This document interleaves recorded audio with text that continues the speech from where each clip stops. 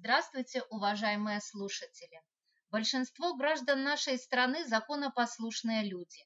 Они хорошо понимают, что строгое выполнение установленных норм, уважение к закону является основой благополучия каждого отдельного человека, всего нашего государства и общества в целом. Вместе с тем в обществе есть люди, которые совершают противоправные действия.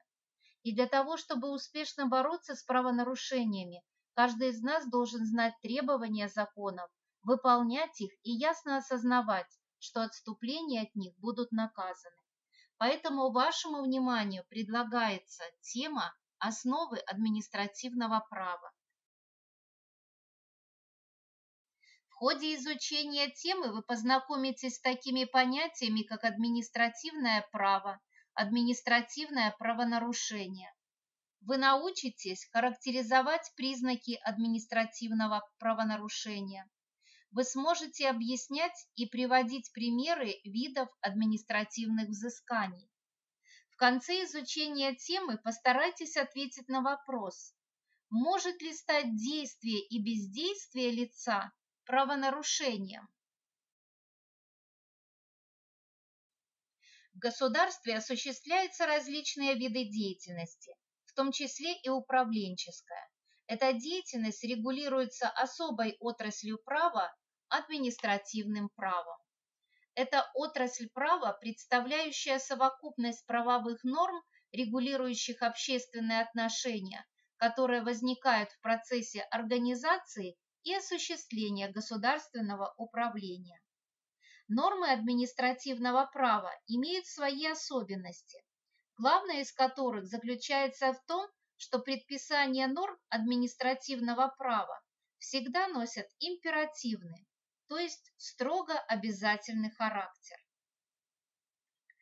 Нормы административного права охватывают все сферы жизни общества, в которых осуществляется государственное управление. Например, государственное управление в сфере экономики включает управление промышленностью, сельским хозяйством, строительством, торговлей, транспортом и так далее. Значительная часть органов государственного управления относится к органам исполнительной власти. Совет министров Республики Беларусь, исполнительные комитеты местной администрации. Другие государственные органы, например, судебные органы, в соответствии с нормами административного права организует работу в системе подчиненных организаций внутри своего органа. Также с помощью норм административного права осуществляется государственный менеджмент, определяются задачи органов, распределяются полномочия, осуществляется государственная служба и так далее. Субъектами административного права являются граждане, органы государственной власти, например, правительство, министерство, государственные служащие в официальной форме, выражающие волю и интересы государства. Все они наделены правами и обязанностями административно-правового характера, которые закреплены в Конституции Республики Беларусь и Кодексе Республики Беларусь об административных правонарушениях. Поведение людей в обществе бывает как правомерным, так и неправомерным, противоправным. Административные правонарушения являются одной из разновидностей противоправного поведения граждан. Административное правонарушение – это противоправное виновное деяние, действие или бездействие физического лица, а равно противоправное деяние юридического лица, за которое установлена административная ответственность. Давайте отметим основные признаки административного правонарушения. Каждый из вас, конечно, понимает, что административное правонарушение – это всегда определенное деяние в форме действия или бездействия. Это деяние антиобщественное и противоправное, то есть нарушающее какие-либо нормы права. Конечно же, общественная опасность отдельных поступков не такая серьезная, например, безбилетный проезд в транспорте, как опасность преступления. Однако в совокупности даже незначительные деяния влияют на поведение других людей и наносят вред обществу. Обязательным признаком административного правонарушения является виновность совершенного деяния, Вина выражает осознанное отношение человека к содеянному и его последствиям. Поэтому для признания деяния, действия или бездействия правонарушением надо установить, что оно совершено осознанно, то есть явилось следствием деятельности человека, находящегося в здравом уме. Не может оцениваться как правонарушение административно наказуемое деяние, совершенное лицом, страдающим расстройством психики, например, и неспособным руководить своими действиями, отдавать в них отчет.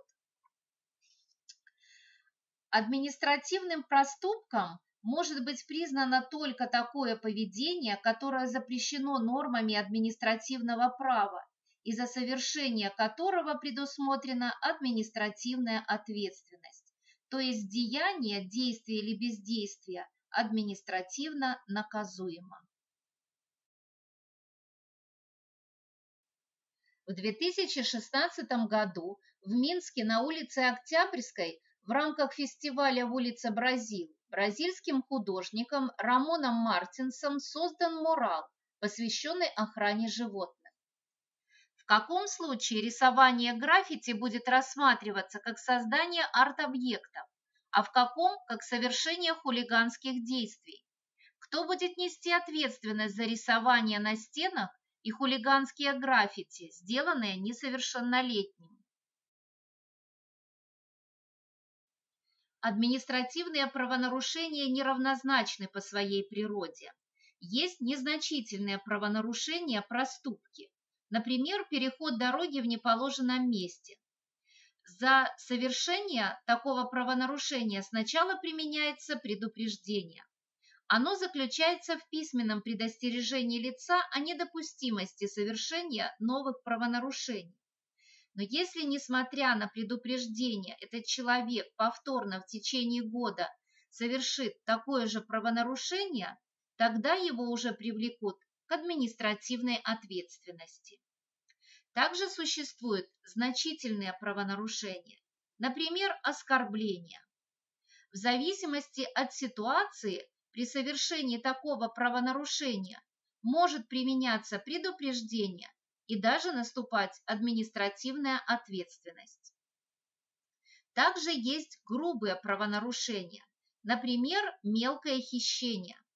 За совершение такого правонарушения сразу наступает административная ответственность. Нужно различать административные правонарушения и уголовно наказуемые деяния, то есть преступления. Они бывают схожи. Однако главное их различие заключается в степени общественной опасности. У преступлений она намного выше. Например, простая нецензурная брань в общественном месте является административным правонарушением а в то время как нецензурная брань, которая сопровождается повреждением имущества, насилием или угрозой его применения к гражданам, уже является преступлением. Административные правонарушения и преступления отличаются также по степени суровости применяемых за их совершение мер ответственности. За совершение административных правонарушений предусмотрена административная ответственность. Это разновидность юридической ответственности, которая выражается в применении государственными органами, их должностными лицами, к лицам, совершившим административное правонарушение, особых мер принуждения, административных взысканий. В Республике Беларусь административной ответственности подлежит лицо, достигшая к моменту совершения административного правонарушения возраста 16 лет. Однако за ряд правонарушений административная ответственность наступает по достижении лицом 14 лет. За административные правонарушения предусматриваются различные виды взысканий, основные и дополнительные. Среди основных взысканий – штраф, общественные работы, административный арест. Одно из наиболее строгих наказаний – это административный арест. Он заключается в содержании нарушителя в условиях изоляции от общества и устанавливается на срок до 15 суток, а за отдельное нарушение до 30 суток. К дополнительным взысканиям относят конфискацию, взыскание стоимости, запрет на посещение физкультурно-спортивных сооружений.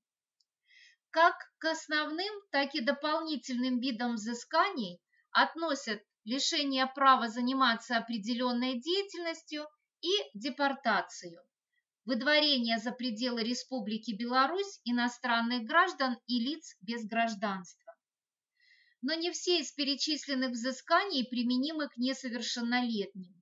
Так, лицам, не достигшим 18 лет, не может быть назначен административный арест или общественные работы, а размер штрафа не может превышать двух базовых величин. В отношении несовершеннолетних широко применяются меры профилактического воздействия как альтернатива административной ответственности. Среди них разъяснение законодательства, обязанность принести извинения, обязанность загладить причиненный вред, ограничение досуга.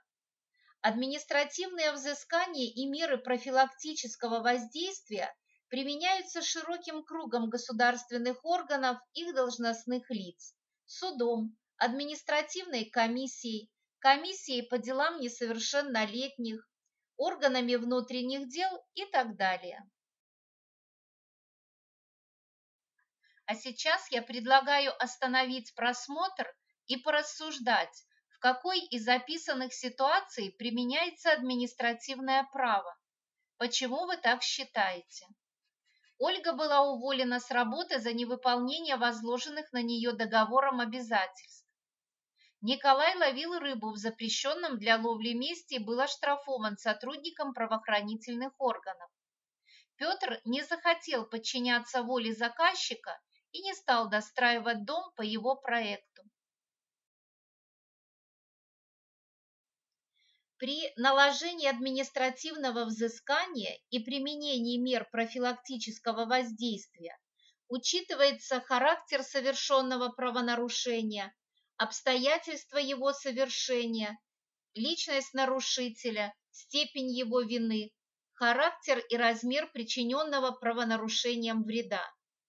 В отношении несовершеннолетнего принимаются во внимание также условия его жизни, уровень развития, влияние на его поведение родителей, членов семьи, старших по возрасту лиц и поведение самого несовершеннолетнего по месту учебы и работы. А сейчас я предлагаю проанализировать статью 18.20 Кодекса Республики Беларусь об административных правонарушениях и сделать вывод относительно применения мер административного взыскания в зависимости от конкретных обстоятельств совершения правонарушения. Итак, вы познакомились еще с одной из отраслей права – административным правом. Конечно, хотелось бы, чтобы в нашей жизни не было места ни административным проступкам, ни уголовным преступлениям, и соответствующим наказанием. Но для этого каждому нужно быть ответственным за свои действия, знать и выполнять требования закона. А теперь ответьте на вопрос, заданный в начале изучения темы. Может ли стать действие или бездействие лица правонарушением?